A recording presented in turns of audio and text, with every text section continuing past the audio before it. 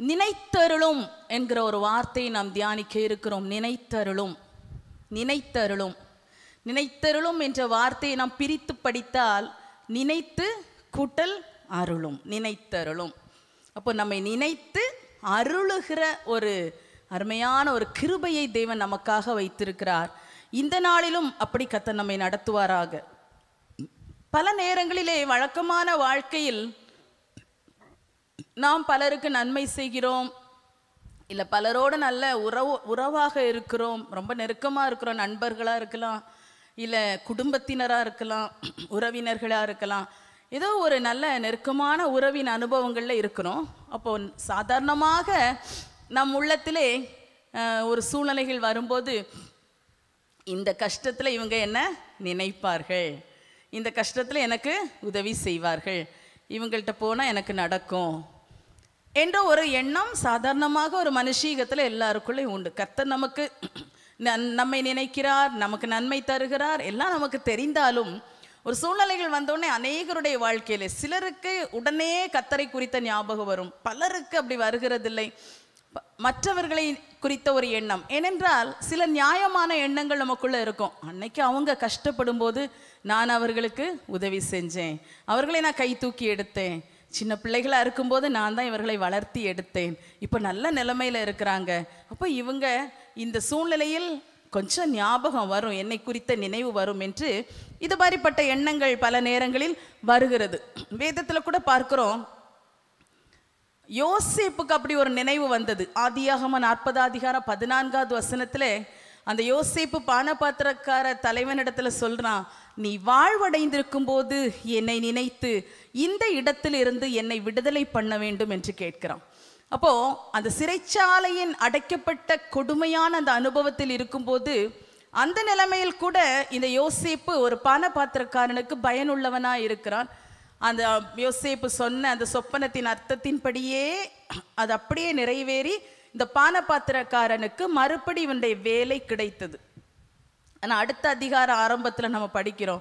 அந்த- அந்த அந்த வசனம் அந்த அதிகாரத்தின் கடைசியில் படிக்கிறோம். அவன் யோசிப்பை குறித்து அந்த எல்லா சொப்பனம் சொன்னது எல்லாமே மறந்துட்டான் போல. ரெண்டு வருஷம் மறந்து போனான். ரெண்டு வருஷத்துக்கு பிறகுதான் அவனுக்கு ஞாபகம் வருது. அந்த நேரம் அவன் அழகாக சொல்கிறான் நாற்பத்தி ஓராவது அதிகாரம் ஒன்பதாவது வசனத்தில் நான் செய்த குற்றம் இன்றுதான் எனக்கு நினைவில் வந்தது. நினைவில். அப்போது இது இப்படி மறந்து போகிறது பெரிய குற்றம் இல்லையா? ஒருவர் செய்த நன்மையை நாம் மறந்து போவது நல்ல விஷயமா? குற்றம். ஆனால் ஆண்டவர் நம்மை என்ன எதிர்பார்க்கிறார் என்றால் யாருக்கோ நீ நன்மை செய்த ஆனால் அதை நீ நினச்சி மனுஷனை பார்த்துட்டு இருக்காத நான் உனக்கு தந்த வாய்ப்பின்படி நீ நன்மைகள் செய்கிறாய். ஆனால் என்ன எதிர்பார்ந்து அவர் சொல்கிறாரு நன்மையை பெற்றுக்கொண்ட தருணங்களையே நாம் மறந்து போகக்கூடாது. நன்மை செஞ்சதை வேணால் விட்டுருவோம். இயேசு சொல்கிறார்ல வலது கை செய்ததை இடது கை அறியாது இருக்கட்டும் ஏன்னா நீ செஞ்சிட்டேன் செஞ்சிட்டேன் நினச்சி நினச்சி அப்படியே உன் சரீர அவயவம் எல்லாம் நீ நன்மை செஞ்சதை அறிய வேண்டாம் அப்படிங்கிறத அவர் சொல்கிறார் அப்போ நாம் நன்மை செய்தால் அதை மறந்துடுறது நல்லது. ஆனால் யாரோ ஒருவரிடத்தில் நாம் பெற்ற நன்மையை ஒருபோதும் மறக்கக்கூடாது. அதுதான் வேதத்தில் படிக்கிறோம் நன்றி அறிதல் உள்ளவர்களுமாய் இருங்கள். இப்போ நன்றி அறிதல் நமக்கு தேவை. நன்றி அறிதல் உள்ளவர்களாக நாம் இருக்கணும். அதே நேரம் மற்றவர்களுக்கு செய்த நன்மை நம்முடைய நினைவில் இருந்துகிட்டே இருக்கக்கூடாது. சிலர் வந்து அப்படி கணக்கு பார்த்து கூட்டி எல்லாம் வச்சுருப்பாங்க. அப்படி இருக்கும்போது தான் நமக்கும் ஒரு கஷ்டம் வரும்போது நான் இன்னாருக்கு இவ்வளோ உதவி செஞ்சேனே எனக்கு செய்யலாமே. என்னை கொஞ்சம் கூட நினச்சி பார்க்கலையே. இவ்வளோ மேன்மையில் வர நான் எவ்வளோ பெரிய காரணமாக இருந்தேங்கிறத மறந்துட்டாங்களே என்று நினைத்து அவர்கள் மேலே பகை உணர்வு வந்துடும் வெறுப்பு வருத்தங்கள் எல்லாம் வர ஆரம்பித்து விடுகிறது. இன்னொரு விஷயம் சொல்லுது இந்த நன்றி அறிதல் உள்ளவர்களுமாயும் இருங்கள் அப்படின்னு நம்ம பார்க்கும்போது நம் பெற்றோருக்கு நாம் பதில் நன்மை செய்ய வேண்டியவர்களாக இருக்கிறோம். இங்கே இருக்கிற எல்லாருமே அதிகமாக பிள்ளைகள் யாரும் இல்லை எல்லா அதிகமாக திருமணமானவர்கள் பெரியவர்கள் தான் இதில் இருக்கிறோம். நீங்கள் யோசிச்சு பாருங்கள் இவ்வளோ பெரியவர்களாக இருக்கிறீர்கள் உங்கள் பெற்றோருக்கு பதில் நன்மை செய்ய வேண்டும் என்று கத்தர் எதிர்பார்க்கிறார். நன்றி அறிதலில் ஆண்டவருக்கு நன்றி உள்ளவர்களாக இருக்கணும். அதுக்கு அடுத்தது பெற்றோருக்கு நன்றி உள்ளவர்களாக இருக்கணும். ஆண்டவர் ஆண்டோடைய வசனம் சொல்லுது அவர் பரிசெயர்களெல்லாம் சொல்லும்போது நீங்கள் கொண்டு காணிக்கை கொர்பான் என்னும் ஒரு காணிக்கையை கொடுத்து விட்டு பெற்றோருக்கு எல்லாம் செஞ்சது முடிஞ்சு போச்சு நீங்கள் சொல்கிறீங்க உங்கள் பெற்றோரை நீங்கள் கவனிக்காமல் இருக்கிறீங்க அப்படின்னு சொல்லி ஆண்டவர் அவர்களை உணர்த்துகிறார். அப்போ பெற்றோர் செய்த நன்மைக்கு பதில் நன்மை. உடனே சிலருக்கு தோணும் என்ன நன்மை செஞ்சாங்க? என்ன நன்மை செய்தார்கள்? அடுத்து சொல்லுவாங்க இப்போ உள்ள பிள்ளைங்களும் அப்படி பேசுகிறாங்க கடமையை செய்தார்கள். பெற்றோர் என்ன பண்ணாங்களாம்? பெற்ற கடமையை செய்தார்களாம். இப்படியெல்லாம் சொல்லுகிற ஒரு காலத்தில் இருக்கிறோம். காலங்கள் எவ்வளோ மாறினாலும் மனுஷர்களுடைய வார்த்தைகள் மாறினாலும் வேதம் ஒரு நாளும் மாறாது. அது நமக்கு கொடுக்கிற ஒரே சத்தியம். உன் பெற்றோர் செய்த நன்மைக்கு பதில் நன்மை செய்ய வேண்டும். அப்போ அன்பான தேவ பிள்ளைகளே இன்னைக்கு உங்களுக்கெல்லாம் பூமியில் உயிரோட உங்கள் பெற்றோர் இருக்கிறாங்கன்னா நீங்க பாக்கியசாலிகள். அவர்களுக்கு நீங்கள் நன்மை செய்யணும். சிலருக்கு உடனே பல காரியம் ஞாபகம் வரும். உங்களுக்கு சின்னதில் உங்களுக்கு அவர்கள் செய்தது உங்களை ஒருவேளை படிக்க வைக்காததாக இருக்கலாம் இல்லை என்றால் உங்களுக்கு திருமணத்துக்காக உங்களுக்கு நிறைய தரவில்லை என்று இருக்கலாம் இல்லை சொன்னதையே தரவில்லையே என்று இப்படிலாம் நிறைய வரலாம். வேதத்தில் அப்படி எதுவுமே எழுதப்படலை. எந்த எக்ஸம்ஷனும் எந்த நீக்குப்போக்கும் கிடையாது இந்த விஷயத்தில். பெற்றார் செய்த நன்மைக்கு பதில் நன்மை செய்யணும். உங்களை இந்த உலகத்தில் பெற்று வளர்த்தவர்கள் இப்படி ஒரு இப்படி நீங்கள் வாழுவதற்கு இந்த உலகத்தில் வருவதற்கு அவர்கள் காரணமாக இருந்தவர்கள் உங்களை பிறந்தது முதல் வளர்த்தி உங்களை ஆளாக்கி எப்படியோ நீங்கள் சில குறைகள் சொன்னாலும் அவர்கள் இதற்கு காரணமானவர்கள் வேதம் அதனால் சொல்லுது நீங்கள் பதில் நன்மை செய்ய வேண்டும். இந்த இந்த ஒரு எண்ணம் எல்லாருடைய இருதயத்தில் இருக்கணும். சரி பெற்றோர்னா அம்மா அப்பாவுக்கு தானே அப்படின்னு நினைக்கிறீங்களா? இல்லை கல்யாணமான நமக்கு அம்மா அப்பா மட்டுமில்லை நம்முடைய புருஷனுடைய அப்பா அம்மாவும் சேர்த்து தான் பெற்றோராகி விடுகிறார்கள். அப்போ அவர்களுக்கு செய்ய வேண்டியதையும் செய்ய வேண்டும். அப்போ அதுவும் தோணும். இந்த வந்ததுலேருந்தே என்னைய ரொம்ப கஷ்டப்படுத்துகிறாங்க இல்லை எனக்கு வேண்டி எனக்கு தர வேண்டியதை தரல. ஏதோ சில குறைபாடுகளை நீங்கள் சொல்லலாம். என்ன சொன்னாலும் எல்லாம் இருக்கட்டும். இன்றைக்கு உங்களை ஒரு மனைவி என்கிற ஸ்தானத்தில் ஆக்கும்படியான ஒரு புருஷனை பெற்றுத் தந்த தாயும் தகப்பனும் அவர்கள். இந்த ஒரே ஒரு காரியத்தை மட்டும் நீங்கள் மனசில் வச்சா போதும். எது தந்தாங்களா தரலையா உங்களை திட்டினாங்களா அடிச்சாங்களா விரட்டுனாங்களா சிலரெல்லாம் வீட்டை விட்டே வெளியாக்கி இருக்கிறாங்க. அப்படியெல்லாம் நடந்திருக்குது. என்ன என்ன பிரச்சனை இருக்கட்டும் என்ன இருக்கட்டும் அதையெல்லாம் விட்டுறணும். ஒரே ஒரு காரியத்தை பாருங்கள் நீங்கள் இன்னைக்கு இப்படி ஒரு மனைவி நான் ஒரு மனைவி எத்தனையோ பிள்ளைகள் திருமணமாகவில்லை. எவ்வளோ பேர் வயது க- கடந்து வாழ்ந்து தனியாக இருந்து கொண்டு இருக்கிறார்கள் கன்னிகைகளாக வயது சென்றவர்களாக கூட அப்படி திருமணமாகாமலே அப்படி சிலர் வந்து அந்த பொருத்தனையோடு தீர்மானத்தோடு இருந்தவர்கள் இருக்கிறார்கள். மற்றபடி திருமணம் எனக்கு நடைபெறவில்லை. எனக்கு ஒரு வாழ்க்கை அமையவில்லை. அதனால இப்படி இருக்கிறேன்னு சொல்லுகிற கூட சிலர் இருக்கிறார்கள். அப்படியெல்லாம் இருக்கும்போது கத்தர் நமக்கு இப்படி ஒரு மனைவி என்கிற ஸ்தானத்தை தந்திருக்கிறார். அப்போ அதற்கு காரணமான அந்த புருஷன் அந்த புருஷனை பெற்று வளர்த்தின பெற்றோர். அவர்களை அவர்களுக்கு செய்ய வேண்டியதை செய்யணும். இப்போ என்ன செய்யணும்னு என்கிட்ட கேட்காதீங்க. உங்களுக்கே நல்லாவே தெரியும். செய்ய வேண்டியது எல்லாவற்றையும் ஒன்றும் குறைவில்லாமல் செய்யுங்க. சிலருக்கு தோணும் எனக்கு அப்படி இல்லையே. அப்படி இல்லையே இப்படி இல்லையே. இல்லை. நீங்கள் எப்படி வாழ்கிறீங்க நீங்கள் வாழ்றதுல ஒரு பகுதி அந்த பெற்றோருக்கு நீங்கள் கொடுங்க. கத்தருடைய இருதயம் மகிழும். அவர் உங்களை கனம் பண்ணுவதோடு மட்டுமல்ல உங்களுக்கு தேவையான இன்னும் அநேக ஆசீர்வாதங்களை இதன் நிமித்தம் உங்களுக்கு தருவார். ஹalleluya. ஹலெல்லூயா ஒருவேளை தவற விட்டுட்டீங்கன்னா ஆண்டோட்ட மன்னிப்பு கேளுங்க அப்பா. இருக்கும்போது நான் இவ்வளோ டீப்பாக நான் கேட்டு யோசிச்சு பார்க்கல. என்னை மன்னிச்சிருங்க. அப்படி சொல்லி வேற ஏதாவது வாய்ப்புகள் இருந்தால் அந்த மாதிரிப்பட்ட காரியங்களை நற்கிரியைகளை செய்யுங்கள். ஸோ பெற்றோருக்கு செய்ய பெற்றாருக்கு செய்ய வேண்டிய அந்த காரியங்களை செய்ய வேண்டும். அந்த வி- விதத்தில் நன்றி அறிதல் உள்ளவர்களாக இருக்க வேண்டும் என்று கத்தர் நம்மிடத்தில் இது எதிர்பார்க்கிறார். மற்றபடி நம்மை பொறுத்தவரையில் மற்றவர்களுக்கு கொடுத்துவிட்டு எனக்கு இவர்கள் தர வேண்டும் என்றோ இவர்கள் எனக்கு செய்ய வேண்டும் என்றோ நாம் ஒருவரையும் எதிர்பார்க்கவே கூடாது. ஆண்டோடைய வேதம் சொல்லுது அஹ், கடன்களை மன்னித்து விடும்படி ஆண்டவர் சொல்லியிருக்கிறார். கேட்பவர்களுக்கு முகம் கோணாமல் கொடுக்கும்படி சொல்லியிருக்கிறார். கைமாறு கருதாமல் கடன் கொடுக்கும்படி சொல்லியிருக்கிறார். இப்படியெல்லாம் ஆண்டவர் சொல்லியிருக்கிறார். ஆண்டவர் சொல்லியிருக்கிற அந்த வார்த்தையின்படி கரெக்டாக அப்படி யாராவது கேட்குறாங்களா? முகம் கொணாமல் கொடுத்துருவோம் சார். கொடுக்கும்போது சந்தோஷமாக தான் இருக்கும் இல்லையா? வாங்குகிறவர்கள் ரொம்ப சந்தோஷமாக வாங்கி கொள்ளுவார்கள். கொடுக்கிறவர்களும் சரி இவங்க திருப்பி தந்துருவாங்கன்னு நினச்சி கொடுப்பாங்க. ஆனால் திரும்ப கிடைக்கும் என்று நினைத்து எந்த பணத்தையோ பொருளையோ யாரும் கொடுக்கவே கூடாது. அதுலேயும் விசேஷமாக நாம் சபை கூடி வருகிறோம். சபை கூடி வருகிற இந்த அனுபவத்தில் இந்த மாதிரிப்பட்ட எந்த ஒரு டீலிங்ஸும் நமக்குள்ளே வைக்கவே கூடாது. சபை கூடி வருவது எதற்கு? எப்ரேயரில் அப்படி தானே படிக்கிறோம் அன்புக்கும் நற்கிரியைகளுக்கும் ஏவப்படும்படிக்கு நம்ம சபை கூடி வருகிறோம்.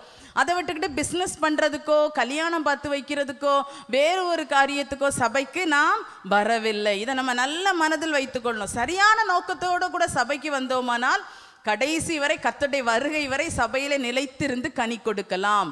அல்லவென்றால் ஏதாவது பிஸ்னஸ் இல்லை கல்யாணம் பார்த்து வைக்கிறது பேசுறது அதெல்லாம் தப்பு இல்லை ஆனால் சிலருக்கு அது ஒரு வேலை. பிறகு நல்லா இருக்கும்போது நல்லா இருக்கும். முடிச்சு ஏதாவது ஒரு பிரச்சனை வந்தோடனே என்ன ஆயிரும்? இவங்க தான் பார்த்து வச்சாங்க இவங்க தான் பேசி வச்சாங்க இதுதான் பிரச்சனை என்று பிரச்சனை வந்துடும் அதே போல் வியாபார நோக்கம் பிஸ்னஸ் ஒரு பொருள் விற்கிறது வாங்குறது இதெல்லாம் சபைக்குள்ளே இருக்கக்கூடாது. ஆண்டவர் இயேசு அன்று ஜப ஆலயத்துக்கு வந்தபோது அவர் என்ன பண்ணார்? அங்க வியாபார என் பிதாவின் வீட்டை வியாபார ஸ்தலமாக்கி அவர் ரொம்ப கோவப்பட்டார். அவருக்கு ரொம்ப ஒரு கோபம் வந்துருச்சு. கயிற்றினால் சவுக்க உண்டு பண்ணி பெரிய ஒரு ஆக்ஷன் எடுத்துட்டார். அப்போ பிதாவின் வீடு கத்தருடைய வீடு வியாபார வீடாக கூடாது. எந்த விதத்தில் அதில் நம்ம ரொம்ப கவனமாக இருக்கணும். அதே போல் நம்ம கூடி கூடி ஜெபிக்கிறோம் சபை கூடி வருகிறோம் சில காரியங்களை பகிர்ந்து கொண்டு ஜெபிக்கிறோம். சிலர் வந்து கடன் பாரம் என்று சொல்லி ஜெபிப்பார்கள். நம்ம இந்த விழிப்பு ஜெபத்தில் கூட கொஞ்ச நேரம் குழுக்களாக ஜெபிக்கிறோம். இந்த மாதிரி ஜெபிக்கும்போது அவர்கள் காரியங்களை சொல்லும்போது "ஓ, அப்போ கூட்டம் முடிஞ்ச பிறகு கடன் நான் உங்களுக்கு அப்போ கடன்னா நான் வந்து இவ்வளோ ரூபாய் தர்றேன். நீங்கள் இப்படி ஒரு சின்ன வட்டி கொடுத்தா போதும். இல்லை அப்படி ஏதாவது செஞ்சால் போதும். அப்படின்னு சொல்லி என்ன செய்யக்கூடாது? பிஸ்னஸ் டீலிங் கடன் காரியங்கள் வைக்கக்கூடாது. சில நேரம் சிலரை பார்க்கும்போது உங்களுக்கு தோணும் ஓ இவங்க கொஞ்சம் நகை போட்டிருக்காங்களே ஏதாவது வாங்கி கொஞ்சம் அடகு வச்சிட்டா நமக்கு கிடைக்குமே பணம். நீங்களும் கேட்டோடனே சிலர் தரலாம். ஆனால் தந்துவிட்டு உங்களுக்கு கொடுக்க முடியாத சூழ்நிலைகள் வரும்போது அப்புறம் ரெண்டு பேத்துக்குள்ள என்ன வந்துடுது மனஸ்தாபம் வந்துடுது ரெண்டு பேருமே சபை குடி வருதலை விட்டு விடுகிறார்கள். அதனால தான் ஆண்டோடைய வேதம் தெளிவா சொல்லுது. அன்புக்கும் நற்கிரியைகளுக்கும் ஏவப்படும் தான் நம்ம சபைக்கு வருகிறோம். அன்புக்கும் நற்கிரியைக்கும் எதனால ஏவப்பட வேண்டும். கர்த்தர் தருகிற வார்த்தையினால கர்த்தருடைய அபிஷேகத்தினால ஆண்டுடைய வேத வசனங்களை தியானிப்பதினால் இப்படிப்பட்ட ஒருவருக்கு ஒருவர் நம்ம நல்லா பழகி ஒருவருக்காக ஒருவர் ஜெபிக்கிற அனுபவங்கள் இப்படிப்பட்ட காரியங்களினால் தான் வளர வேண்டுமே தவிர பணம் கொடுக்கல் வாங்கல்னாலேயோ வேறு எந்த பிஸ்னஸ் டீலிங்ஸ்னாலேயோ நிச்சயமாக அன்பும் நற்கிரியையும் ஒரு நாள் நம்மிடத்தில் வரவே வராது. இதை நாம் நினைவில் வைத்துக்கொள்ளணும் சரி ஆண்டவர் தான் கொடுக்க சொல்லியிருக்கிறாரு. ஆமாம் ஆண்டவர் கொடுக்க சொல்லியிருக்கிறாரு. கொடுக்க சொன்ன அப்புறம் நீங்க என்ன செய்யக்கூடாது? போய் கேட்கக்கூடாது. கேட்குறதுல தான் பிரச்சனைகள் வருகிறது. இதிலே தேவ பிள்ளைகள் மிக ஞானத்தோடு நடந்து கொள்ள வேண்டும். எனவே நாம் மற்றவர்களுக்கு செய்ய வேண்டியவற்றை நாம் நன்றாய் செய்ய வேண்டும். செய்து செய்து முடித்த பிறகு எனக்கு அவர்களிடமிருந்து ஏதாவது நன்மை கிடைக்கும் என்று நான் அவர்களால் நினைவு கூறப்படுவேன். என் பிரச்சனை நேரத்தில் என்று நாம் ஒருவரையும் எதிர்பார்க்க கூடாது. கத்தரதை நம்மிடத்தில் விரும்புவதே இல்லை. ஹalleluya ஹalleluya மொத்தத்துல சுருக்கம் சொல்ல போனால் மனுஷரு மனுஷர் என்னை நினைக்க வேண்டும் என்ற நினைவு நமக்கு வரக்கூடாது. சில நேரம் சபை தான் சபை கூடி தான் வருகிறோம். ஆனால் அந்த நேரத்துலையும் ஒருவேளை பலவீனமாக இருந்து வியாதியாக இருந்து கொஞ்ச நாள் கழித்து நீங்கள் சபைக்கு வந்திருப்பீங்க. உங்களை பார்த்த உடனே ஒருவேளை நீங்கள் அவர்களை சந்தித்த உடனே உங்கள்கிட்ட உங்களுக்கு அந்த வியாதிலாம் மாறிடுச்சா நல்லா இருக்கிறீங்களா? என்றெல்லாம் ஒருவேளை சிலர் கேட்காம இருக்கலாம். உடனே வருத்தமாக இருக்கும். இவ்வளோ நாள் நான் கஷ்டப்பட்டேன். என்னை விசாரிக்கலையே. அப்போ என்னைய மறந்துட்டாங்களே. எனக்காக இப்போ ஜெபிக்கலையோ? என்றெல்லாம் உங்கள் எண்ணங்கள் வரும். அப்படி வரக்கூடாது. அவர்கள் ஒருவேளை மறந்திருக்கலாம். எப்படி மறந்துருக்கலாம்? உங்களுக்காக ஜெபிச்சிருப்பாங்க. ஆனால் அவங்கள பார்த்த உடனே அந்த காரியம் அவர்களுக்கு விட்டுருக்கலாம். அவசரம் வீட்டுக்கு போகிற அவசரத்தில் இருந்திருப்பாங்க எதுவாக இருக்கலாம். ஆனால் இந்த மாதிரி போட்ட காரியங்களை நம் நினைவில் வைத்து நம்மை குழப்பிக் கொண்டு இருப்போமானால் நாம் கர்த்தருக்குள் வளரவே முடியாது. நம்மை விசாரிக்கிறவர் கர்த்தர். ஹாலலூயா ஹாலலூயா அவர் உங்களை விசாரிக்கிறவரானபடியினால் உங்கள் கவலைகளை எல்லாம் அவர் மேல் வைத்து விடுங்கள். மனுஷரை பற்றி அவர் சொல்லி இருக்கிறார். கர்த்தர் நம்மை நினைத்திருக்கிறார். கர்த்தர் தான் நம்மை நினைக்கிறார். கர்த்தர் தான் நம்மை விசாரிக்க வேண்டும். அது போதும் என்கிற ஒரு நினைவோடு இருப்போம். இப்போது கர்த்தர் என்னை நினைத்தருள வேண்டும் என்கிற ஒரு எண்ணம் நமக்குள்ள நல்ல நிறைவாக இருக்கணும். ஆண்டோடைய வசனம் சொல்லுகிறது கர்த்தர் நம்மை நினைத்திருக்கிறார் அவர் நம்மை ஆசீர்வதிப்பார். ஹலலூயா அவர் நினைத்தால் போதும். சில சில நேரம் பல நேரத்தில் வாயினால சொல்லுவோம். நமக்கு வந்து ரொம்ப நெருக்கம் வேதனை கஷ்டம் துக்கம் வந்தோடனே சொல்லுவோம். அவங்கெல்லாம் என்ன நினைக்காட்டாலும் பரவாயில்ல. கர்த்தர் என்ன நினைச்சா போதும் ஆண்டவர் என்ன நினைச்சா போதும் இப்படி வாயினால சொல்லுவோம். ஆனா செக் பண்ணி பார்க்கணும். எவ்வளவு தூரம் அது உள்ளத்துல உண்மையாக இருக்கிறது என்று உண்மையான அறிக்கையாக அது இருக்குமானால் கர்த்தர் நம்மை நினைத்திருக்கிறார் என்பதை வெளிப்படுத்துவார். ஹலல்லூயா ஹலல்லூயா மனுஷர்கிட்ட போய் என்ன கொஞ்சம் நினைச்சிக்க. நீ அப்படி பண்ணும்போது இது என்னை கொஞ்சம் நினைச்சிக்க. இப்படி பண்ணும்போது என்ன கொஞ்சம் நினைவு வச்சுக்கோ. அப்படி கேட்காமல் கர்த்தரிடத்திலே கேட்கணும். இன்னைக்கு நம்ம அதை தான் தியானிக்க போகிறோம். கர்த்தாவே நீர் என்னை நினைத்தருளும். நினைத்தருளும். நினைத்தருளுகிறவர். ஹலல்லூயா ஹலல்லூயா நினைத்தருளும் என்று இந்த நாளில் நாம் ஆண்டவரிடத்துல கேட்க போறோம். அதற்கு ஆதாரமாக யாத்ராகம புஸ்தகம் முப்பத்தி மூன்றாவது அதிகாரம் அதனுடைய பதிமூன்றாவது வசனத்தை நாம் எடுத்துக்கொள்ளுவோம் யாத்ராகமம் முப்பத்தி மூன்று பதிமூன்று. உம்முடைய கண்களில் இப்பொழுது எனக்கு கிருபை கிடைத்ததானால் நான் உம்மை அறிவதற்கும் உம்முடைய கண்களில் எனக்கு கிருபை கிடைப்பதற்கும் உம்முடைய வழியை எனக்கு அறிவி அறிவியும் இந்த ஜாதி உம்முடைய ஜனம் என்று நினைத்தருளும். ஹாலல்லூயா ஹாலல்லூயா மோசை கேட்கிற ஒரு அருமையான காரியத்தை பாருங்க. இந்த ஜாதி உம் ஜனம் என்று நினைத்தருளும். ஆண்டவருக்கு ஒரு நினைப்பூட்டுதல் கொடுக்கிறார். பல வசனங்கள் பார்க்குறோம். நம்ம சில வாரங்களுக்கு முன்பாக கூட நெகேமியா கேட்குறாரு. என்ன கேட்டார்? எனக்கு நன்மை உண்டாக என்னை நினைத்தருளும். இங்கே மோசையை பற்றி சொல்லப்பட்டிருக்குது. மோசை எப்படி கேட்டாரா? இந்த ஜாதி அதாவது இந்த ஜனக்கூட்டம் இந்த மக்கள் எந்த மக்கள்?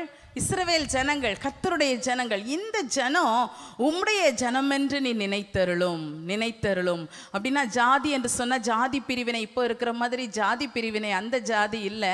அது தேசம் அது அது ஒரு நேஷன் அது ஒரு ஜனக்கூட்டம் என்று தான் அப்போ இந்த இஸ்ரவேல் இந்த மக்கள் இவர்கள் உம்முடைய ஜனம் என்று நினைத்தருளும் ஆண்டவரே என்று கேட்கிறார். ஹாலலூயா இது நமக்கு ஜெபத்திற்காக ஒரு குறிப்பாக நாம் எடுத்துக்கொள்ளுவோம். இது உம்முடைய ஜனம் என்று நீர் நினைத்தருளும். எதற்காக அப்படி கேட்குறாரு இந்த ஜனத்தை நடத்துறதுக்கு மோசேயை தேவன் ஏற்படுத்தி வைத்திருக்கிறார். அப்போ இந்த மோசைக்கு ஒரு பெரிய பொறுப்பு இருக்கிறது. அந்த பொறுப்பில் பொறுப்பு என்ன அப்படின்னா இந்த ஜனங்களை அழகாக நடத்தி கொண்டு தேவன் வாக்குத்தத்தம் பண்ணின இடத்தில் கொண்டு சேர்க்க வேண்டும். இப்போ இதற்காக கேட்கும்போது இந்த ஜனங்கள் ரொம்ப கீழ்ப்படிய மாட்டேங்கிறாங்க வணங்கா கலத்தாக இருக்கிறாங்க முறுமுறுக்கிறார்கள். இவர்கள் ஒன்றும் ஆண்டவருடைய ஒரு ஆசைக்கும் அவருடைய திட்டத்துக்கும் இவர்கள் உள்ள நிற்கவே இல்லை. அப்போ அந்த நேரம் அந்த ஜனங்கள் ஆண்டவரை விட்டு தூரம் போகிறதுனால கத்தருக்கு கோபம் வரும்போது இவர் சொல்கிறார் ஆண்டவரே இந்த ஜனம் உம்முடைய ஜனம் என்று நினைத்தருளும். அது எதுக்காக அப்படின்னா நான் உம்மை அறிவதற்கும் நான் உம்மை அறிவதற்கும். உம்முடைய வழியை எனக்கு அறிவியும். அப்படின்னா உண்மையும் நான் அறியணும். உம்முடைய வழியையும் நான் அறிய வேண்டும். ஏனென்றால் அந்த ஜனத்தை நடத்தி கொண்டு போவதென்றால் சாதாரண விஷயம் இல்லை எந்த வழியில போக வேண்டும் என்று தெரியாது இவர்கள் நினைத்த வழியில் போனால் அது ஆண்டவர் கூட இருக்க மாட்டார். அப்போ ஆண்டோடைய சமூகம் ஆண்டோடைய பிரசன்னம் அவருடைய இழைப்பாறுதல் இவர்களுக்கு இருக்க வேண்டுமானால் தேவன் இவர்களோடு கூட இருக்க வேண்டுமானால் தேவனை குறித்து அறிய வேண்டும். இன்னும் அறியணும் இன்னும் அறியணும் இன்னும் அறிய வேண்டும். இந்த ஒரு வாஞ்சையோடு கேட்கிறார் உம்முடைய வழியையும் எனக்கு அறிவியும் என்று கேட்கிறார். இந்த நாட்களிலே நாமும் ஒவ்வொரு குடும்பத்தில் வாழ்ந்து கொண்டு இருக்கிறோம் புத்தியுள்ள ஸ்திரீ தன் வீட்டை கட்டுகிறாள். அப்போ வீட்டை கட்டுகிற ஒரு பொறுப்பை தேவன் நம் கையில் தந்திருக்கிறார். அப்போ அந்த வீட்டை கட்டுகிற ஒரு பொறுப்பை தந்திருக்கும் போது ஒரு ஆவிக்குரிய தேவ பிள்ளையாக வாழுகிற ஒரு பாக்கியத்தையும் நமக்கு தேவன் தந்திருக்கிறார். உலக மனுஷர்களைப் போல அல்ல அவர்கள் தான் அவர்கள் தாங்களே திட்டமிட்டு தாங்களே பல காரியங்களை பார்த்து அப்படியே பல கால்குலேஷன் பண்ணி குடும்பத்தை நடத்தி கொண்டு போக வேண்டும். ஆனால் நமக்கு அப்படி இல்லை. ஆண்டவருடைய பாதத்தில் அமர்ந்து அவரை அறியணும். என்னை நடத்துகிற உண்மை நான் இன்னும் அறிய வேண்டும் ஆண்டவரே. என்னை குறித்து என்ன வைத்திருக்கிறீர் என்பதை நான் அறிய வேண்டும். எந்த வழியில் இந்த குடும்பத்தை நான் நடத்தி செல்ல வேண்டும் என்பதையும் நான் அறிய வேண்டும். ஹாலல்லூயா ஹாலல்லூயா பலவிதமான காரியங்கள் இருக்கிறது. உங்கள் வேலை விஷயமா இருக்கலாம்.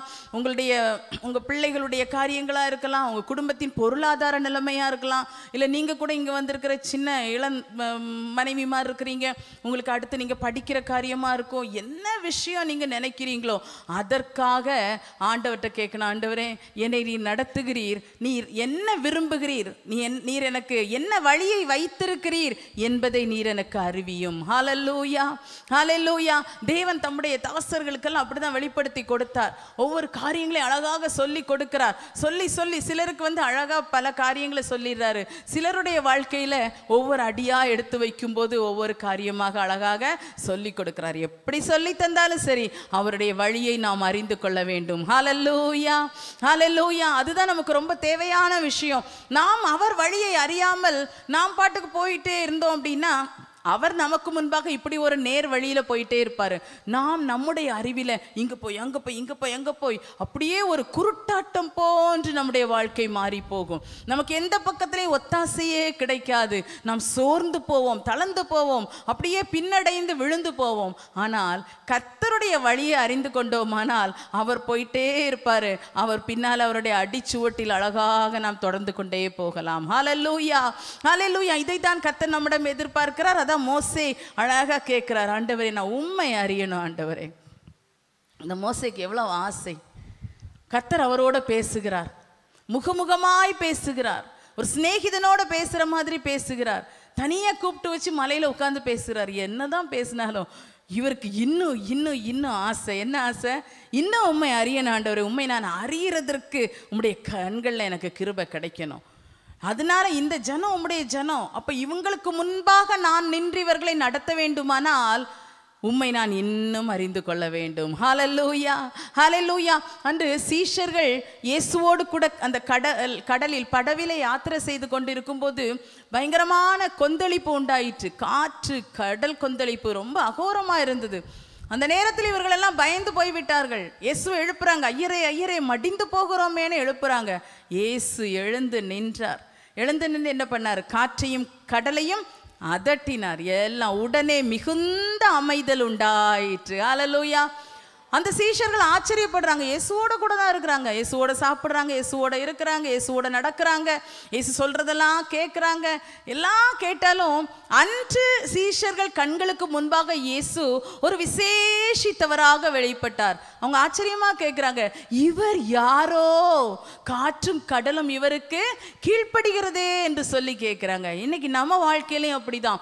ஏதோ அநேக வருஷங்கள் ஆண்டவரோடு கூட நடக்கிறவர்களா இருந்தாலும் இன்று நீங்கள் வைக்கப்பட்டிருக்கிற சூழ்நிலையிலே உங்களுக்கு எப்படி அடுத்த அடி எடுத்து வைக்க வேண்டும்? இந்த விஷயத்துல என்ன தீர்மானம் எடுக்க வேண்டும்? எதை நான் செய்ய வேண்டும் என்று உங்களுக்குள் ஒரு கேள்வி இருக்கிறதல்லவா? மோசே ஜெபித்த இதே ஜெபத்தை கேளுங்க. ஆண்டவரே உம்மை இன்னும் நான் அறியும்படி என்னை எனக்கு உம்மை வெளிப்படுத்தி தாரும். ஹாலல்லூயா சீஷர்களுக்கு அவ்வளோ மகா பெரியவராக இயேசு வெளிப்பட்டார்.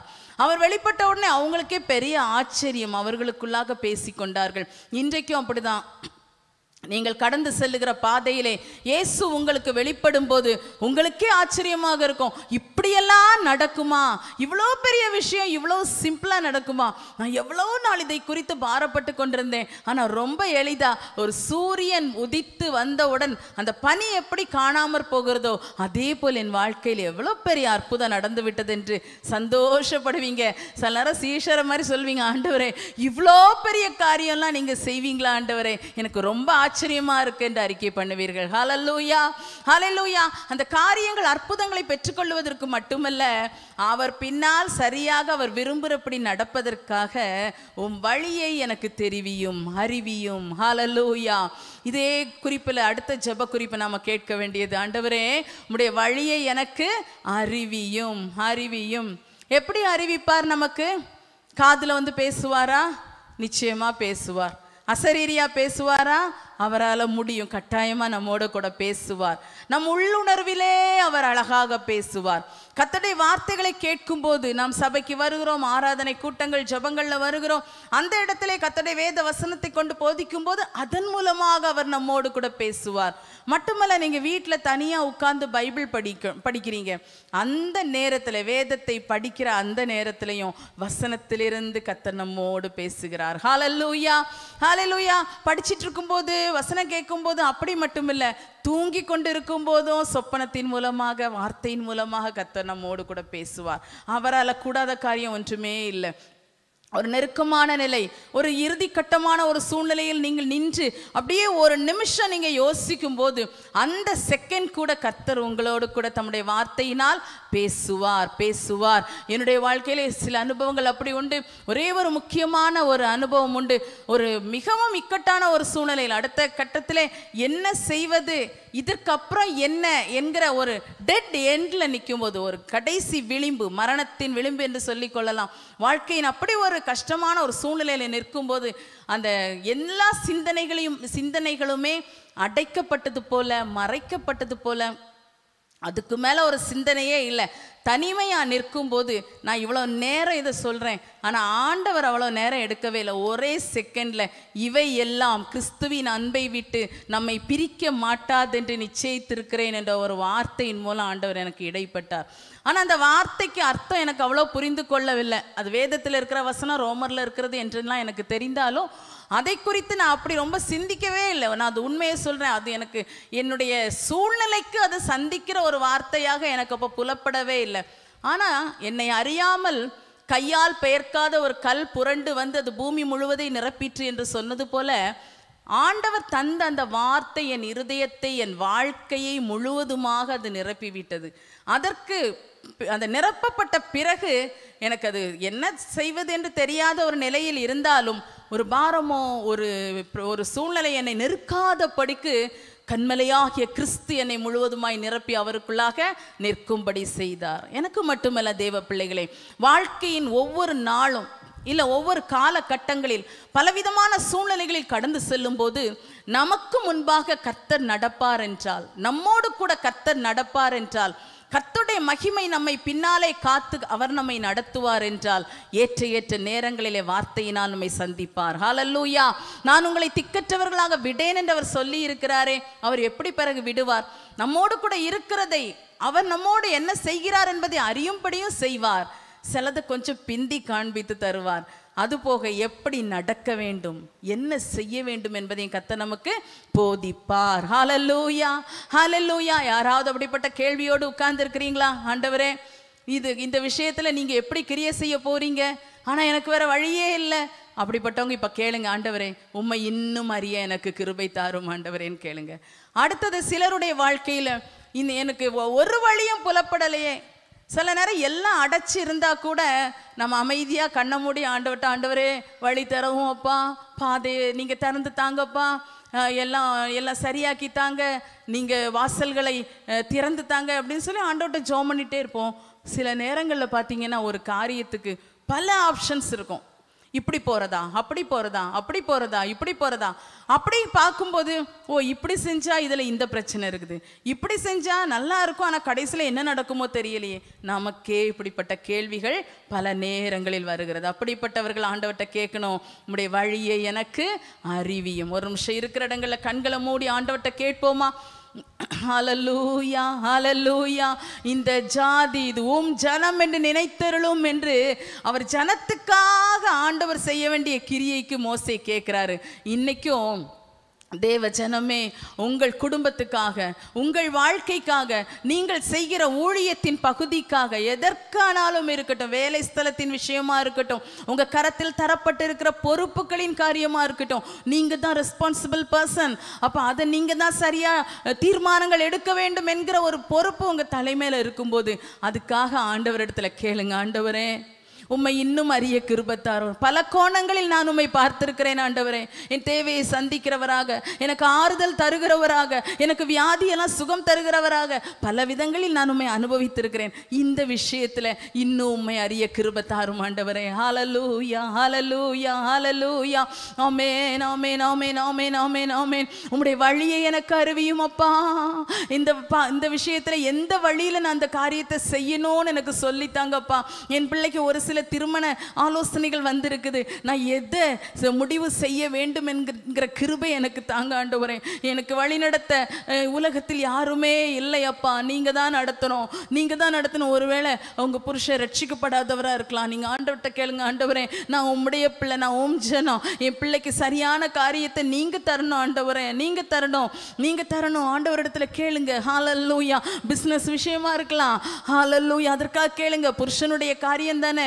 அவர் தானே தீர்மானம் எடுக்கணும். அவர் தானே எல்லாம் செய்யணும். அவர் கையில வச்சு தான் எல்லாம் நடத்துறாரு. அப்படி இருப்பதற்கு அல்ல தேவ பிள்ளையே. புத்தியுள்ள ஸ்திரீ தன் வீட்டை கட்டுகிறாள். குணசாலியான ஸ்திரீ தன் புருஷனுக்கு கிரீடமா இருக்கிறாள் அல்லவா? அப்போ கிரீடமா இருக்கிற நாம் எவ்வளவு அந்த காரியத்துல உத்தரவாதமா இருக்கணும் உத்தரவாதமா இருக்கணும். அவர் தலை நிமிர்ந்து நின்றாதானே அந்த கிரீடம் ஜொலிக்க முடியும். அந்த கிரீடத்துக்கு அப்பந்தானே மகிமை இருக்குது ஆசீர்வாதம் இருக்குது. கிரீடங்களே ஆண்டோடைய சமூகத்துல கேளுங்க. உங்க வழிகளை எங்களுக்கு போதியுங்கப்பா. இந்த காரியத்தை எப்படி செய்ய வேண்டும் என்று உணர்த்தும் ஆண்டவரே. உணர்த்தும் நான் ஆலோசனை சொல்றதுக்காக கேட்கல காரியம் நடக்கணும்ப்பா நான் உங்ககிட்ட ஜெபிக்கும் போது நீங்க அவர் மூலமா அந்த காரியத்தில் நடப்பீங்க. அப்படியே கேளுங்க ஆண்டவர்கிட்ட. நான் ஆலோசனை சொன்னா அவர் கேட்க மாட்டாரு. நான் சொல்ற உன்னையும் கேட்க மாட்டார். அவர் ஒருத்தர் ஆலோசனையும் கேட்க மாட்டாரு. அப்படிலாம் சொல்லிக்கிட்டு இருக்காதீங்க. நீங்க ஆண்டவரோட பேசுங்க. நீங்க ஆண்டவரோட பேசுங்க. விடாதீங்க விடாதீங்க. இது உம்முடைய ஜனம் ஆண்டவரே. உம்முடைய ஜனம் என்பதை நீ நினைத்தருளும் ஆண்டவரே. நாங்கள் உம்முடைய ஜனம் என்பதை நினைத்தருளும் ஆண்டவரே. நான் சாக்கு போக்கு சொல்லி இனி இருக்க மாட்டேன். உங்க பாதத்தை பிடிக்கிறேன் அப்பா. நினைத்தருளும் அப்பா. நினைத்தருளும் அப்பா. உம்முடைய வழியை எனக்கு போதி தருளும் ஆண்டவரே. அது சரியான வழியில நீங்க நடத்தி இருங்கப்பா நடத்தி இருங்கப்பா நடத்தி இருங்கப்பா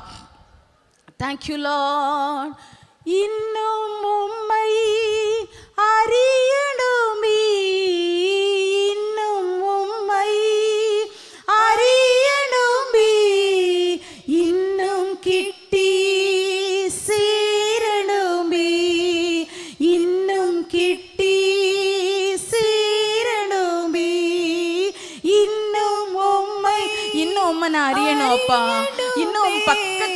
விரும்புறேன் ஆண்டவரே.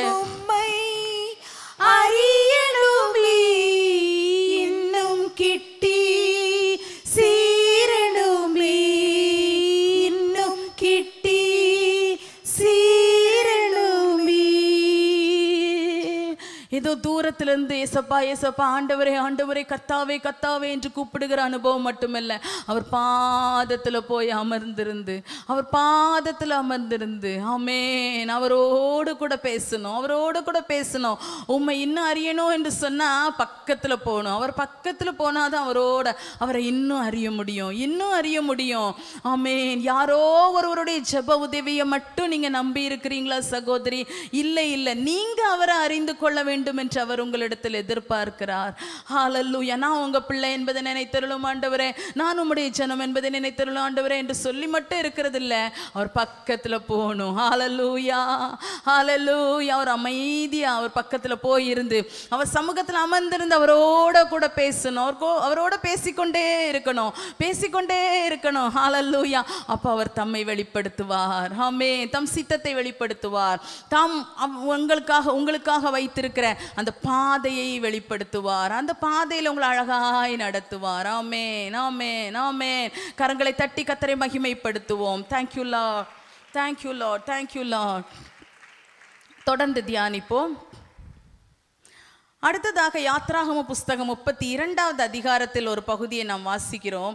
யாத்ராகமம் முப்பத்தி இரண்டு ஒன்பது முதல் பதிமூன்று வரையுள்ள வசன பகுதியிலே நாம் இப்படியாக படிக்கிறோம். யாத்ராகமம் முப்பத்தி இரண்டு ஒன்பது முதல் உள்ள வசனங்கள். பின்னும் கத்தர் மோசையை நோக்கி இந்த ஜனங்களை பார்த்தேன். இவர்கள் வணங்கா கழுத்துள்ள ஜனங்கள். ஆகையால் என் கோபம் இவர்களை இவர்கள் மேல் மூளவும். நான் இவர்களை அழித்து போடவும். நீ என்னை விட்டு விடு உன்னை ஒரு பெரிய ஜாதியாக்குவேன். ஹalleluya இப்பவும் மோசைக்கும் ஆண்டவருக்கும் இடையில உள்ள காரியத்தை தான் பார்க்குறோம். கத்தர் மோசையோட சொல்றார் இந்த ஜனங்கள் வணங்கா கழுத்துள்ளவர்கள் கொஞ்சம் கூட குனிய மாட்டேங்கிறாங்க. அப்படின்னா பணிவில்லாதவர்கள். பணிகிறதுனா என்ன? பிள்ளைகள் சில நேரத்தில் ஒரு காரியம் சொன்னோடனே சில பிள்ளைகள் உடனே கீழ்ப்படிஞ்சிருவாங்க. சில பிள்ளைகள் கீழ்ப்படிய மாட்டாங்க. சில பிள்ளை உடனே அடி கொடுப்பீங்க. அடி கொடுத்தோடனே அடிக்க கம்பெடுக்கும் போதே சில பிள்ளைகள் உடனே கீழ்ப்படிஞ்சிருவாங்க. அப்படியே அடுத்த டைப் இருக்காங்க.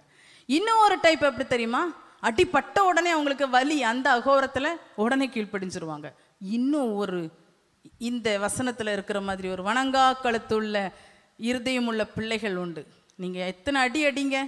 மாற்றி மாற்றி உங்ககிட்ட தந்து திருப்பி திருப்பி வாங்கிட்டு இருப்பாங்க. அடித்து அடிச்சு சிலருக்கு கம்பு ஒடிஞ்சு போகும். சிலருக்கு கை வலிச்சு போகும் பெற்றோருக்கு.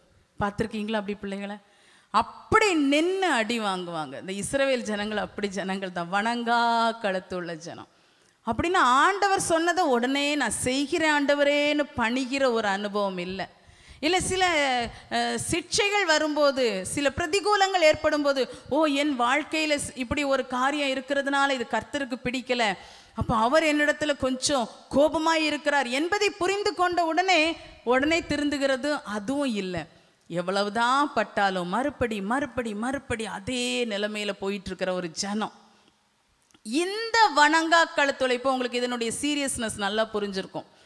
இந்த வணங்கா கழுத்துள்ள ஜனத்துக்காக மோசே ஆண்டவரிடத்துல அந்த பதினோராவது வசனத்திலிருந்து பதிமூன்றாம் வசனம் வரை ஜோம் பண்றாரு. அதுல தான் சொல்றாரு அவர் பன்னிரெண்டாம் வசனத்துல கடைசியில் கேட்குறாரு இந்த ஜனங்களுக்கு தீங்கு செய்யாத படிக்கு அவர்கள் மேல் பரிதாபம் கொள்ளணும்னு கேட்குறாரு பதிமூணாம் வசனத்துல சொல்றாரு கெஞ்சி பிரார்த்தித்தான் என்று சொல்லி இருக்குது. கெஞ்சி பிரார்த்திக்கிறான். என்ன கெஞ்சி பா பிரார்த்திக்கிறா?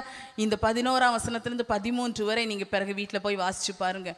இந்த ஜனங்களை குறித்து நீர் இப்படியெல்லாம் சொன்னீரே ஆண்டவரே. இப்படியெல்லாம் நீர் சொன்னீரே. உம்முடைய தாசருக்கு நீங்க ஆணையிட்டு கொடுத்ததல்லவா? இப்படியெல்லாம் நீர் சொல்லி இருக்கிறீர் அதை நீர் நினைத்தருளும். பதிமூன்றாம் வசனம் தொடக்கத்தில் பார்த்தீங்களா உமது தாசராகிய ஆபிரகாமையும் ஈசாக்கையும் இஸ்ரவேலரையும் இஸ்ரவேலையும் நினைத்தருளும் நினைத்தருளும். அந்த வசனத்திலே கடைசி பகுதியில் அவர்களுக்கு கொடுப்பேன் என்று உண்மை கொண்டே அவர்களுக்கு ஆணையிட்டு சொன்னீரே. மோசே எப்படி விடாமல் கேட்குறாரு பாருங்க. மிக அருமையான ஒரு ஜெபத்தை தான் நம்ம இதில் பார்க்குறோம். அப்போ இதில் என்ன பார்க்குறோம்? உம் தாசர்களை அவர்களுக்கு இட்ட ஆணையையும் நினைத்தருளும் நினைத்தருளும். இப்போ வந்து இந்த ஜனத்துக்கிட்ட நீர் இறங்கும்னு சொல்கிறதுக்கு எந்த நியாயமுமே இல்லை. அவ்வளோ வணங்கா கழுத்துள்ள ஜனம். உங்க வார்த்தைக்கு எதுவும் கீழ்ப்படியல அவ்வளவு கொடுமையான ஜனம். இவங்களுக்காக பரிந்து பேசி வாங்குறதுங்கிறது ரொம்ப கஷ்டமான விஷயம். ஆனா ஒரு இடம் இருக்குது. மோசை கண்டுபிடிச்சிட்டார். என்ன கண்டுபிடிச்சிட்டாரு? உம்முடைய தாசராகிய ஆபிரகாம் ஈசாக்கு யாக்கோபெல்லாம் நினைச்சிருங்க ஆண்டவரே. அவங்களுக்கு ஆணையிட்டு கொடுத்தீரே உம்முடைய ஆணை உம்முடைய ப்ராமிஸ் உம்முடைய வாக்குத்தத்தம் அதை நீர் நினைத்தருளும். ஹலலூயா இப்படி தான் நம்ம வாழ்க்கையிலையும் சிலருக்காக ஜெபிக்க வேண்டும் மன்றாட வேண்டும் அவர்களுக்காக எப்படியாவது அவங்கள மீட்ட எடுக்கணும்னு ஒரு ஆசை நமக்கு. ஆனால் அவர்கள் வாழ்க்கையை பார்க்கும்போது இவர்களுக்காக எப்படி ஜெபிக்க முடியும்? ஆண்டவர் எவ்வளவு நன்மைகள் இவர்களுக்கு செய்து விட்டார். இஸ்ரவேல் ஜனங்களுக்கும் அப்படித்தானே. அவ்வளோ பரிதாபமான நிலைமையிலிருந்து தூக்கி எடுத்து கொண்டு வந்தார். அவர் ஜனமாக வழி நடத்துகிறார் அற்புதங்கள் செய்கிறார் தண்ணியை கொடுக்கிறாரு மன்னாவை கொடுக்குறார் காடையை கொடுக்குறார் எல்லாம் கொடுக்குறார். என்னதான் கொடுத்தாலும் எல்லாம் வாங்கிட்டு ஆண்டவரை எதிர்த்து நிற்கிற ஜனமா இருக்கிறார்கள். இப்போதும் தேவ ஜனம்தான் நம் குடும்பத்தின் பிள்ளைகள் தான் நம்முடையவர்கள் தான். உங்களுக்கு சில நேரம் தோணும் எப்படி நான் இதுக்காக ஜெபிப்பது? ஒரு காரியம் ஒரு இடம் அழகாக நமக்கு ஒரு இடம் இருக்குது. என்ன இடம்? உம் தாசருக்கு நீர் கொடுத்த வாக்கு அந்த ஆணை இருக்கிறதே அல்லவா? ஆண்டவரே அதை நினைத்தருளும் அப்பா. ஹலலூயா ஹலலூயா உங்களை குறித்து உங்கள் குடும்பத்தை குறித்து உங்கள் பின் சந்ததியை குறித்து உங்களுக்கு சில வாக்குத்தத்தங்களை தேவன் தந்திருக்கலாம். இப்படி செய்வேன் உனக்கு இப்படி செய்வேன் என்று கத்த சொல்லி இருக்கலாம். நீங்க ரட்சிக்கப்பட்ட அந்த நாளிலே அபிஷேகத்தை தேவன் ஊற்றின அந்த நாளிலே இல்லை இயேசுவோடு கூட ஞானஸ்நானம் பெற நீங்கள் அர்ப்பணித்து ஞானஸ்நானத்தை பெற்றுக்கொண்ட அந்த நாளிலே கத்தர் உங்களோட பேசி இருக்கலாம். இல்லை சில குறிப்பிட்ட காரியத்துக்காக தேவனோடு ஜெபிக்கும் போது உங்களுக்கு அவர் சில வாக்குத்தத்தங்களை தந்திருக்கலாம்.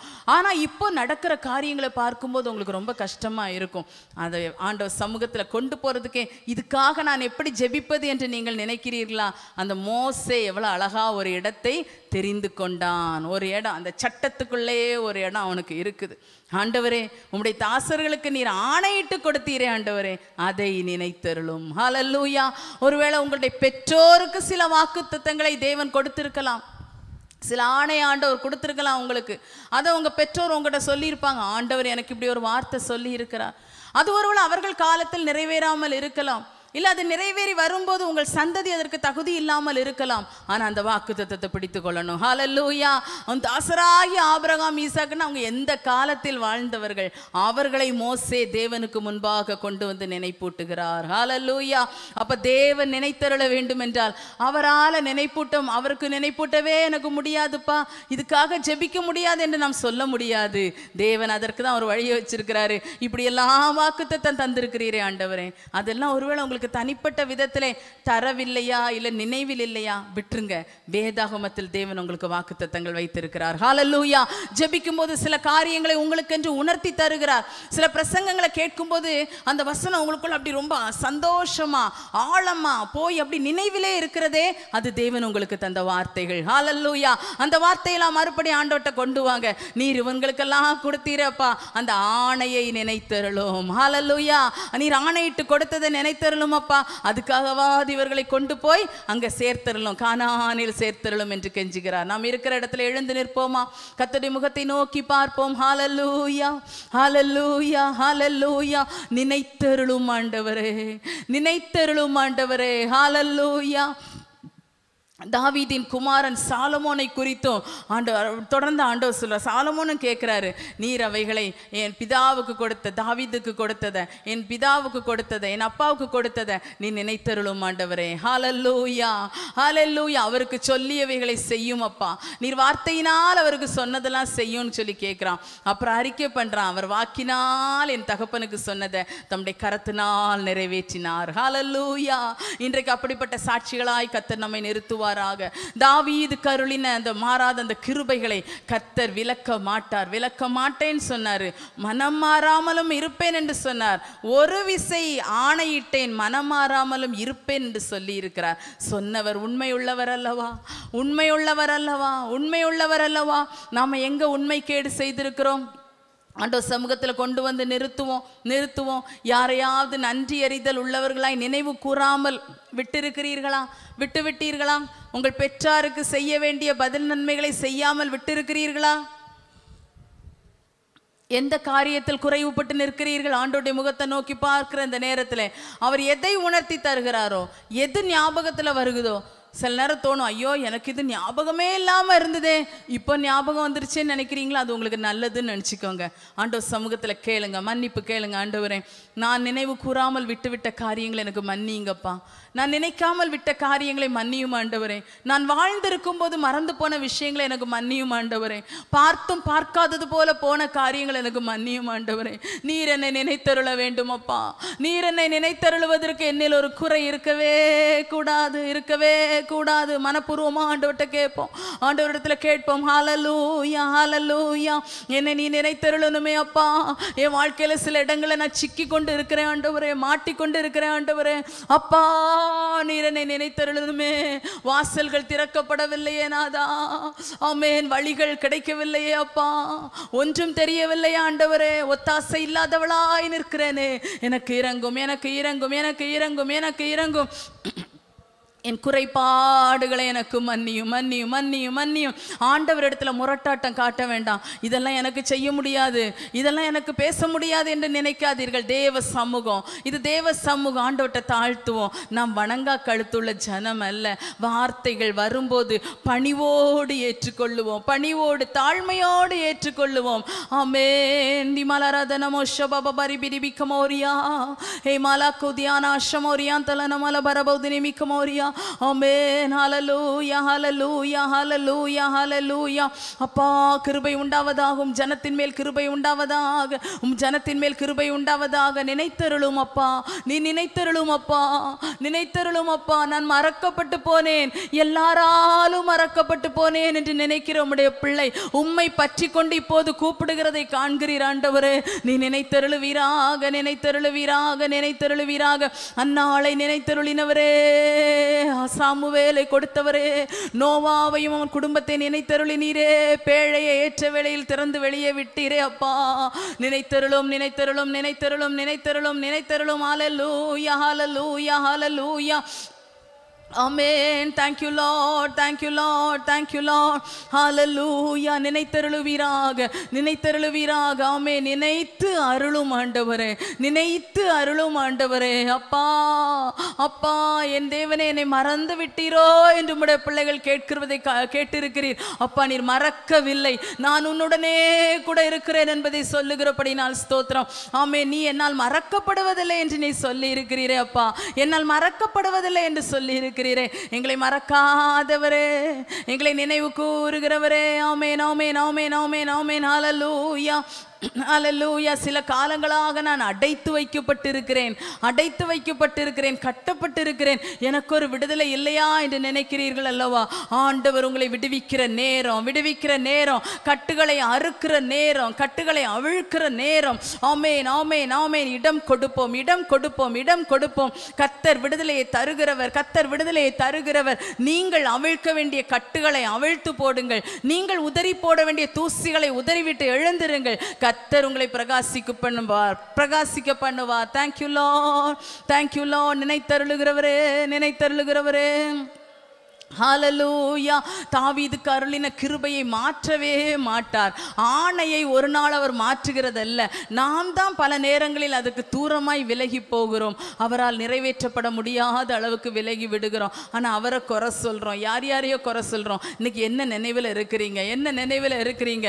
ஆமென். ஆண்டவரிடத்தில் ஒருமுகப்படுவோம் ஒருமுகப்படுவோம். ஆண்டுடைய பாதத்தை பற்றி கொள்ளுவோம் பாதத்தை பற்றி கொள்வோம். இந்த விஷயத்தில் என்ன நீங்கள் நினைத்து அருளணும்ப்பா என் பிள்ளையுடைய இந்த காரியத்தில் நீங்கள் என்ன நினைத்து தருளுங்க. எனக்கு உங்க வழியை போதியுங்க நீர் என் பிள்ளையுடைய வாழ்க்கையை மாற்றுகிறவர் என்கிறதை எனக்கு நீங்க ஒரு காரியத்தை செஞ்சு தாங்கப்பா. நான் இன்னும் அந்த விஷயத்துல உண்மை அறிய விரும்புகிறேன். நீர் இருதயங்களை மாற்றுகிறவர் என்று நான் வாசித்திருக்கிறேன். அப்பா அதை என் குடும்பத்தில் செய்யும் ஆண்டவரே. செய்யும் அப்பா. எனக்கு நேர் வர வேண்டிய அந்த அன்பு எனக்கு நேர் வருவதாக வருவதாக நீ செய்யும். ராஜாவின் இருதயம் கத்துடைய கரத்தில் நீர்க்கால்கள் போல் இருக்கிறதே. உமக்கு சித்தமானபடி திருப்புகிறீர் என்பதை வாசித்திருக்கிறேன். என் வாழ்க்கையில செய்யுங்கப்பா. என் வாழ்க்கையில செய்யுங்கப்பா. அந்த அற்புதத்தை செய்யுங்க ஆண்டவரே செய்யுங்க ஆண்டவரே செய்யுங்க ஆண்டவரே. தேங்க்யூ லான் ஹலலூயா ஆமேன் ஆமேன் ஆமேன் ஆமேன் வாக்கு தத்தம் செய்த கர்த்தரி வாக்குமாறா உண்மை நாதரி. வாக்கு தத்தம் செய்த கர்த்தரி வாக்குமாறா வாக்கை நம்பி வந்து நிற்கிறோம். வல்லாவி மாறி ஊற்றுமே. வாக்கை நம்பி வந்து நிற்கிறோம். வல்லாவி மாறி ஊற்றுமே. வாக்கு தத்தம் செய்த கத்தரி வாக்குமாறா உண்மை நாதரி. வாக்கு தத்தம் செய்த கத்தரி வாக்குமாறா உண்மை நாதரி வாக்கை நம்பி வந்து நிற்கிறோம். வல்லாவி மாறி ஊற்றுமே வாக்கை நம்பி வந்து நிற்கிறோம். வல்லாவி மாறி ஊற்றுமே வாக்கு தத்தம் செய்த கத்தரி வாக்குமாறா உண்மை நாதரே. எங்களுக்கு வாக்கு தத்தம் செய்த நீர் உண்மை உள்ளவரப்பா நீர் வாக்குமாறாதவர். நினைத்தருளுவேன் என்று சொன்னால் நீர் எங்களை நினைத்தருளுகிறவர். ஆமே திபலக்க பரபதனம் அஷமலராதனம் ஒரியாந்தலனமா தீபலராதர போரியால பல பரபதனம் ஒஷரபோ திரிபி கபல பரபா வாக்கு தத்தங்கள் உண்மை உள்ளது ஆம் என்றும் ஆமேன் என்று நிறைவேற்றுகிறவராய் இருக்கிறீர் ஆண்டவரே. தேவன் பொய் சொல்ல மனுஷர் அல்ல. மனமாற மனுபுத்திரன் அல்ல. அவர் சொல்லியும் செய்யாதிருப்பாரோ? அவர் வசனத்தை நிறைவேற்றாதிருப்பாரோ? அவர் செய்வார். சொன்னதை செய்கிறவர் சொன்னதை செய்கிறவர் சொன்னதை செய்யும் அளவு உன்னை கைவிடுவது இல்லை சகோதரியே. அவர் உனக்கு சொன்னதை செய்யும் அளவு உன்னை கைவிடுவது இல்லை. ஹalleluya மனுஷர் கைவிடலாம். சூழ்நிலைகள் விட்டு போகலாம். கர்த்தர் உன்னை கைவிட மாட்டார்.